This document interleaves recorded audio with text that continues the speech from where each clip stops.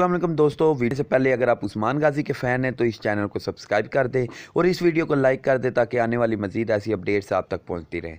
दोस्तों, इस एपिसोड में आप देखेंगे कि यानी शहर में उस्मान साहब अपने कमरे में दाखिल होते हैं। उस्मान साहब इस बात से बहुत परेशान थे कि इसमान सुल्तान ने उन्हें अपनी चाल में फंसा लिया।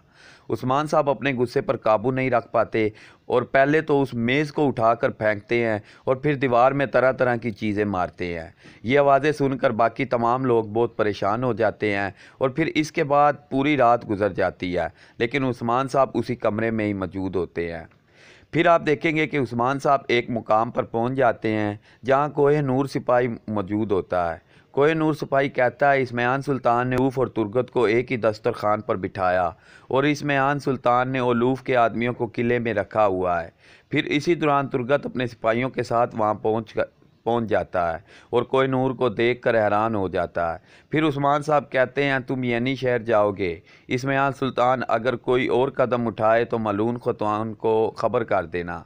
कोई नूर सिपाही कहता है, ठीक है सरदार, हम उनके इस खेल को बर्बाद कर देंगे। दोस्तों, मज़ीद अपडेट्स के लिए हमारे साथ जुड़े रहें। इस वीडियो को लाइक करके चैनल को सब्सक्राइब कर दें। शुक्रिया।